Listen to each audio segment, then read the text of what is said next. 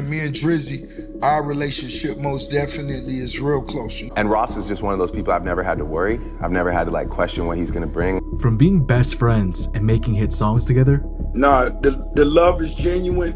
Ross is like one of my OGs, one of my mentors. And Drake even calling Rick Ross his favorite rapper to work with.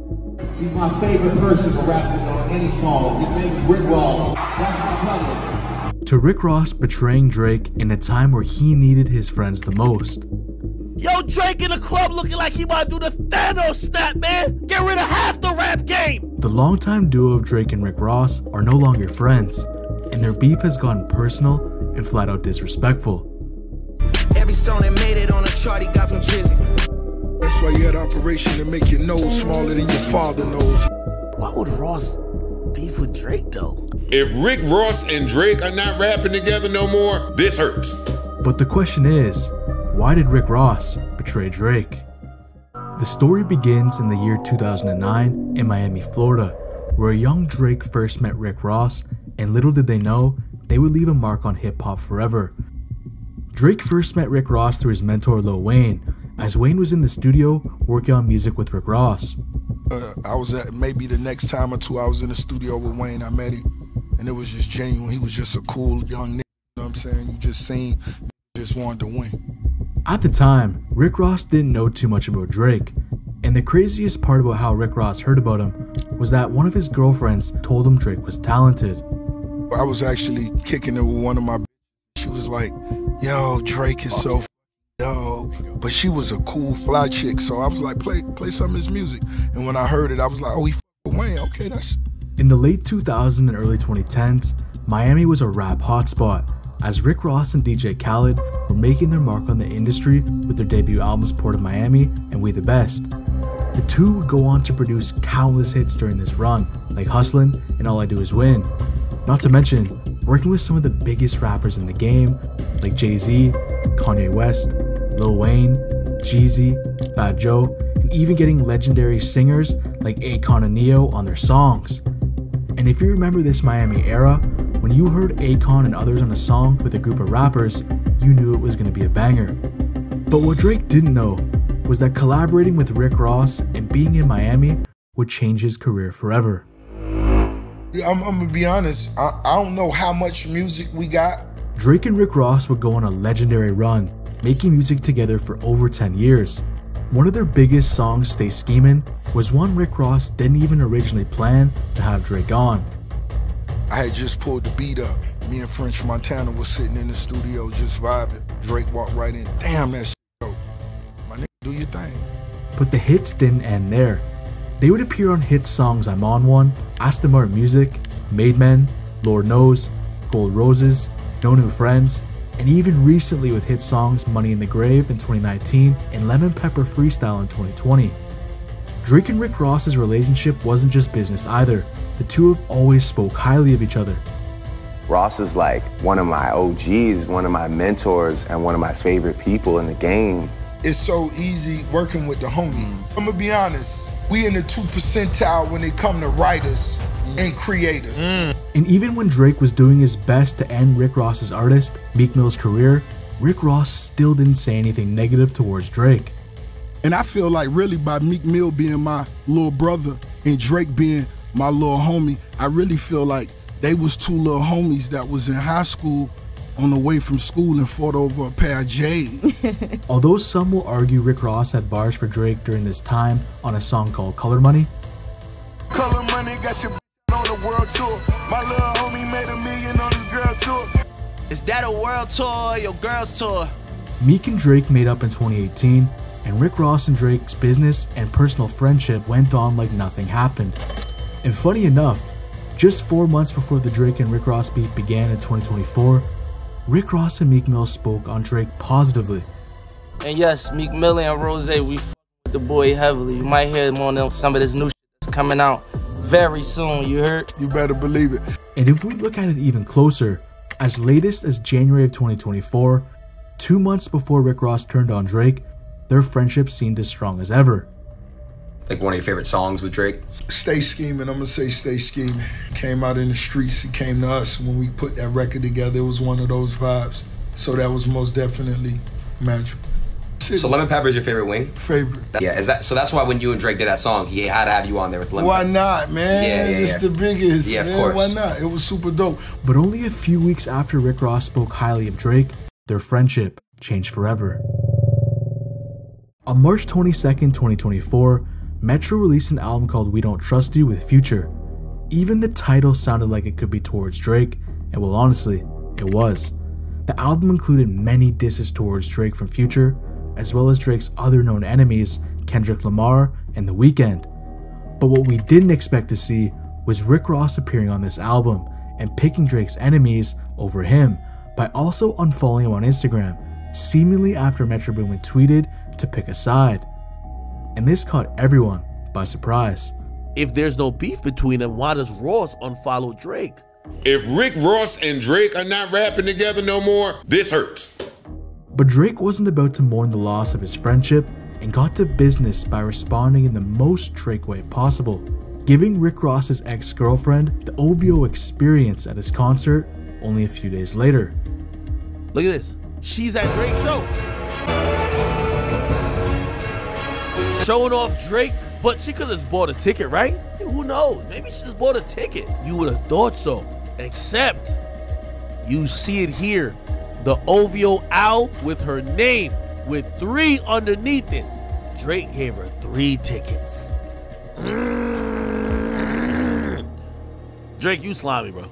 Rick Ross and his ex girlfriend Christina Mackey were in a public relationship for about six months, ending in early March 2024, only a few weeks before the Rick Ross and Drake feud went public. The two were seemingly pretty happy, spending a lot of time with each other, and to Christina's credit, she said that it was a peaceful breakup with no hard feelings. But if we're being honest, her and Drake knew what they were doing by having her at this concert and posting about it, as they used each other to get back at Rick Ross by trying to make him feel jealous or disrespected. Drake is a slimy man. Yo, I'll be damned if me and you got songs together and we mans and you give my ex-girlfriend tickets to your concert. You giving her special tickets that she could pull up with an OVO owl letter or, or like thing with the tickets in it that she go through a private entrance feeling all special? Nah, bruh. And after seeing what Drake had done, Rick Ross decided to go even further and responded to this by posting a video on Instagram, listening to Kendrick Lamar's feature on the album We Don't Trust You, where he was dissing Drake. But Rick Ross wasn't done there. He then posted a bottle of Bel Air, tagging Metro Boomin, Future, Kendrick Lamar, and Drake in order from top to bottom. And of course, he had Drake on the bottom. He captioned the title, Official Bel Air is really like that. And he singled out like that because that was the name of the song Kendrick Lamar dissed Drake on. But the Instagram play fight was over, and Drake and Rick Ross were about to get dark and disrespectful. On April 13th, 2024, Drake's diss Push Ups leaked online. It's here. It's time. God damn. Holy. Ladies and gentlemen, this is a shot that will be heard around the f- world. And he responded to everyone attacking him, including some heat for Rick Ross. What I'm living. I might take your latest girl and cuff her like I'm Ricky. In this line, Drake is referencing to the fact he invited Rick Ross's ex girlfriend to his show, and he uses the phrase cuff her like I'm Ricky as a double entendre, saying that he might cuff her like Ricky in a dating way, as that's another term for a relationship, as well as cuff her like an officer of the law, as Rick Ross used to be a correctional officer. Drake then makes a crucial statement referring to the fact that a lot of Rick Ross's hits are because of him. Out of the three top 10 hits Rick Ross has, all of them include Drake. Money in the Grave by Drake featuring Rick Ross, Lemon Pepper Freestyle by Drake featuring Rick Ross, and I'm On One produced by DJ Khaled and features Drake, Lil Wayne, and Rick Ross. And things didn't end there. Spend that little check, you gotta stay up out my business. Here Drake says that Rick Ross isn't on his level money wise and to go worry about himself. And in the leaked version of this song, Drake had actually said something else as well. Worry about whatever going on with you and. And this is possibly referring to the rumors regarding Rick Ross hanging out with Diddy. And as we all know, Diddy is in a whole situation right now. But again, this didn't make the final version. And after this diss track leaked, everyone was going crazy. But only hours after it surfaced, Rick Ross dropped his diss track called Champagne Moments in response to Drake. Let you get on my songs. It was. It's real. It's real. Ah! In Rose, he wasted no time getting disrespectful and personal on this track. Ghost writers, they get the floss what you could have had. In the first line, Rick Ross is referring to Drake always being accused of having a ghostwriter. That my strongest talent is writing. That is my strongest talent. I'm not a great singer. Uh, I'm a great. I'm a good performer. I've grown into a great performer. Um, but my greatest talent is writing. And the ghostwriter accusations stem from 2015, when funny enough, it was Rick Ross's artist Meek Mill who said it first. Yeah, this caught us all by surprise. So uh, late Tuesday night, early Wednesday morning, Meek Mill got on Twitter. He accused Drake of using a ghostwriter. Rick Ross also said that with all of the money Drake's probably had to pay these ghostwriters over the years, he could have kept it for himself had he just wrote the songs. Record label taking a loss, are you in your bag? He then makes a reference to Drake's label OVO Sound, and when you look at OVO as a whole, besides Drake, the next best up would have to be PartyNextDoor, who was hot in the 2010s and very talented, but he's taken a long break since. You a worker on the chart, don't make me laugh. He then references Drake is still signed to a label in Universal and is making them money in an employee way. And Rick Ross, well, he's the boss of his own label, MMG, which has had successful artists like Meek Mill and Wale. But Rick Ross wasn't done there, saying that Drake's career is in decline, even though many consider Drake to be the best in the game still. Living fine, I'm getting high as your decline. In looking at Drake's last album For All the Dogs, some didn't consider it to be Drake's best work, and Drake did take some heat for it at the time, but it still sold 402,000 units, debuting number one on Billboard in its first week. And the year before, in 2022, his album Her Loss with 21 Savage received a ton of positive support and sold 404,000 units, debuting number one on Billboard in its first week once again. Run up on you and snatch your chain, watch you bleed. In this line, Rick Ross is pretty direct with what he's saying, but it's also in response to Drake, as on his diss track Push Ups, he flat out said nobody is taking his chain or anyone in his crews, which in translation means nobody is touching me no matter how disrespectful I get. And at this point, it's safe to say that Rick Ross isn't playing with Drake, but he was just getting started. He continues by saying that the next time they see each other, Drake better keep this same energy. If we keeping it gangster, when you see me, you check me. Hinting to the fact that Drake might try to be friendly in person, but will continue to be disrespectful online. But if history has shown us anything, Drake nor his team are afraid of confrontation in person if something happens. Allegedly, of course. That's Chris Brown showing off a nasty gash he got in a fight in New York last night. Now, who do we have to thank for this? It was Drake? Ross then insinuates Drake is soft. Like his moves, but he never had a fight in school. Which many people have tried to say over the years, as Drake didn't necessarily have to grow up the same as other rappers. And this is because he was an actor on a popular Canadian TV show called Degrassi, as well as he had other opportunities growing up as a kid. I took him to this agent, uh, and she really liked Aubrey, so he did print work and he did a couple of commercials. But Drake has said before that his upbringing wasn't as soft as people like to claim, as he grew up poor and lived near Weston Road in Toronto, which wasn't a nice area. Weston Road flows back when we couldn't buy pizza because we were down to pennies. But Ross wasn't letting Drake off the hook yet, and also said that his flow is copied. Flow is copy and paste. Weezy gave you the juice. Which over the years, Drake has been accused of. Oh, you taught Drake everything he know. Y'all didn't hear Drake on his first song. Tell me what's really going on. Drizzy Drake back in this thing already. What's that? That's Oh, Soldier. shit. That's Oh, my bar. shit. He copied my Oh, whole. Bro, That's word for word, bar for bar. And again with XXXTentacion. So he plays this. I hear da da da da da da. I'm like, what the. F-? As soon as it started, like I knew, I knew he was getting that. Feel me? So they were saying that Drake was biting your style. Flow, hell yeah. Ross also said that Lil Wayne gave Drake the juice, referring to Lil Wayne mentoring and teaching Drake the game. And this definitely did help Drake, but plenty of rappers have also had opportunities from big artists, and they haven't touched Drake's success. Let you DM my hoes, but got bitch can't. And as we expected, Rick Ross responded to Drake regarding him giving his ex girlfriend Christina Mackey the OVO experience at his concert. But now Rick Ross is about to get crazy, saying things nobody expected to hear. Rick Ross insinuated Drake got a nose job to make his nose smaller. That's why you had operation to make your nose smaller than your father. And it's so specific, it makes you think that there's something to it. But you have to be the judge, because if you look at these two comparisons from back in the day and to now, it really does look similar to me. Rick Ross then says Drake owes his career to Birdman, Lil Wayne, and the Prince family. You owe motherfucking son of your life, nigga. Give Weezy some more money, nigga. Give Rap-A-Lot some more money, nigga. He's referring that Birdman and J. Prince co-signed Drake as family, giving him a certain level of protection and credibility, which as a Canadian actor turned rapper really needed. So let me put these bully niggas on notice by letting them know Drake is family. Not got nothing but love and respect for Drake, bro. J. Prince Jr. also found Drake and actually brought him to Lil Wayne. And on a rap level, Wayne's wisdom and cosign took Drake farther than he's ever paid Wayne back for.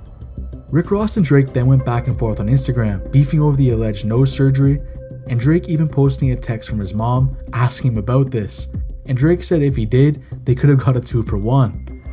Rick Ross then went on a tirade trying to provoke Drake, saying that his plane is old, and he continued with the hashtag BBL Drizzy movement, saying Drake has had work done. I got one more question for BBL Drizzy. One more question.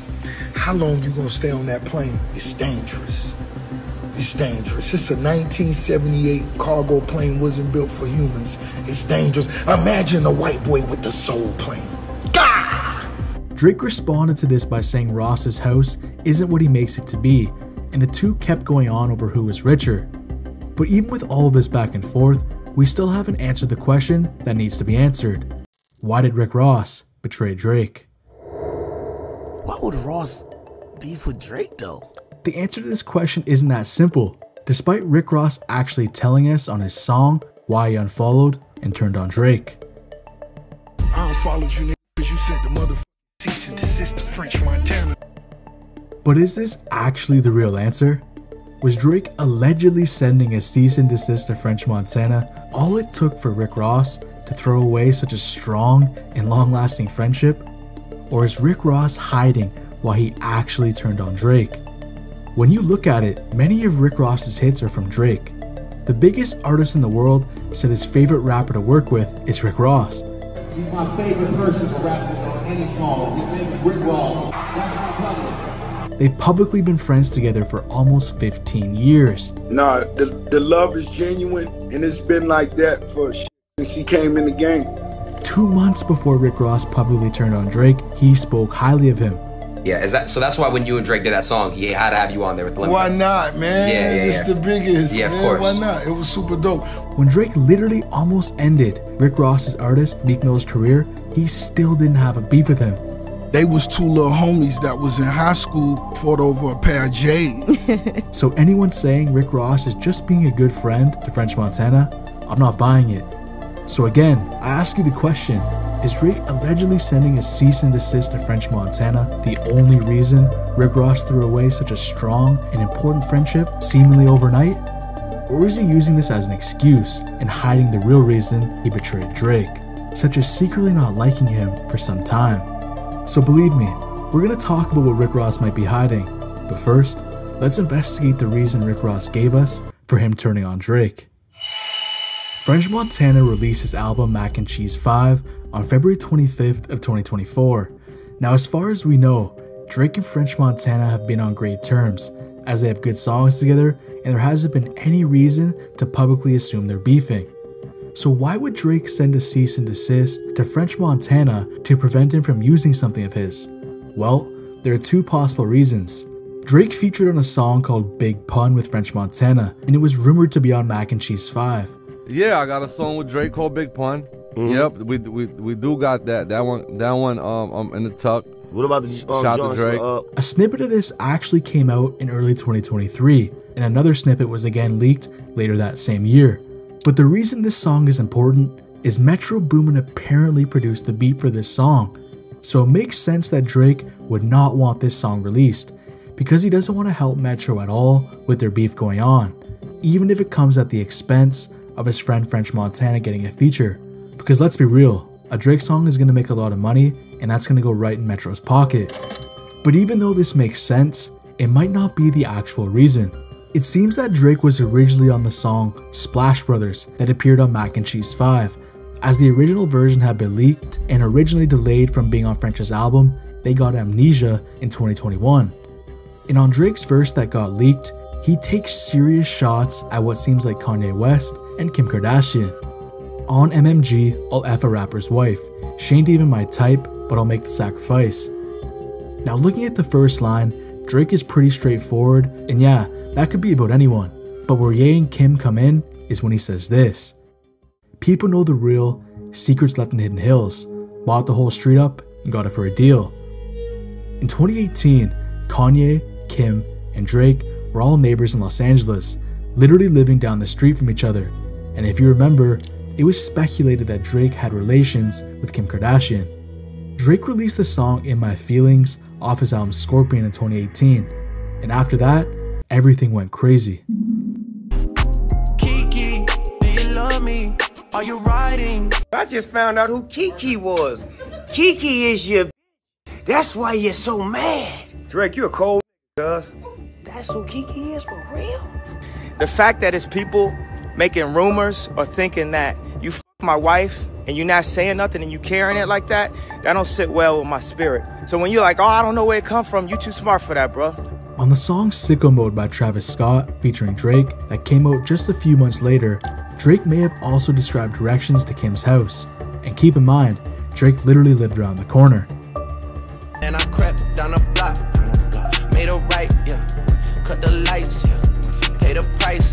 And Drake clearly confirms he was dissing Kanye at the end by saying checks over stripes, Checks over stripes, yeah. referring to Drake being sponsored by Nike and Kanye Adidas. In 2020 on DJ Khaled's song Greece, Drake talks about those hidden hills and someone's wife. Rolls Royce, baby, in hidden hills. Jogging past your wife and she get chill. And Kanye, well, he had a lot to say about this. You got bars that's like hidden hills, give your wife the chills. You doing all kind of, it's like you all that's disrespectful. Yo, I- you know what I'm saying? So you could be sitting there like, did he, did he not? So looking back at this alleged verse that was apparently supposed to be on Mac and Cheese 5, when Drake is talking about a rapper's wife and secrets in Hidden Hills, it seems very possible he's referring to Kanye and Kim. So for strictly argument's sake, if French Montana was trying to put this on his album and Drake didn't want it coming out, which is very understandable for numerous reasons, Drake would have had no choice other than to send a cease and desist to prevent it from happening. But crazy enough, French Montana was asked about Drake not being on his Mac and Cheese 5 album, and his answer might surprise you. So what happened with Drake on the album? Because I know you and Drake made, made a lot of music. You said what Yeah. happened on, the, on this project? Yeah, yeah, we did, but we got the documentary coming out in June, Mm-hmm. and um, he executive produced it, so we're just gonna push the records back to them. Why, did, why didn't you put the Drake song on here? Because I saw people were saying, what happened to that? Um, cause we got a documentary coming out together, and I feel like it's a better look that we dropped. You know what I'm saying? Okay. French Montana had nothing bad to say about Drake, and Drake has literally been helping him produce a documentary in which they will apparently have a collaboration on musically in 2024. So, according to French, they're in a great place. And this is French Montana, the person Rick Ross is allegedly defending, saying this. Could he be hiding the fact that he's mad at Drake? Possibly, but they're still supposedly working together on stuff. So even though this alleged cease and desist to French Montana is apparently the reason Rick Ross unfollowed and turned on Drake, does it actually seem like the real reason? To me, it doesn't. And I think the real reason could involve Rick Ross secretly having hate for Drake long before he turned on him. Or he's mad that Drake didn't give him and Meek Mill a feature on their album Too Good to Be True, which came out at the end of 2023 and seems like they were banking on. Greatest of all time, Drake feature. And yes, Meek Mill and Rose, we f- with the boy heavily. You might hear him on some of this new shit that's coming out very soon. You heard? You better believe it.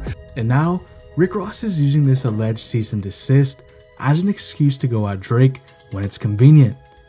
Drake has given Rick Ross so many of his hits, so even if he didn't like him for some period of time, it made no sense for Rick Ross to start the beef, because one, you're gonna dry up musically pretty quickly. Two, starting beef with Drake isn't very smart, because the odds of winning a beef with Drake are 50 50 at best, and you're losing the biggest artist in the world as your friend. So it made no sense for Rick Ross to start beef with Drake, and that's why even a couple months before the beef went public, Rick Ross was still talking positively about Drake. But all of this changed in March of 2024. It's possible Rick Ross saw what was happening with Metro Boomin, Future, Kendrick, and The Weeknd teaming up on Drake. So he saw his opportunity to show how he truly felt about Drake without sacrificing his musical success or even his popularity, as he's teaming up with Future, one of the best rappers in the game, and Metro Boomin, the best producer in the game. Unlike if he were to do this before, when it wouldn't have been a very trendy thing to do, and he would have been doing it all alone, unprovoked, without the French Montana excuse. Because ask yourself this question if this rap civil war wasn't going on, would Rick Ross have gone to war defending French Montana? I doubt it. He didn't even do it for his own artist Meek Mill when his career was on the line.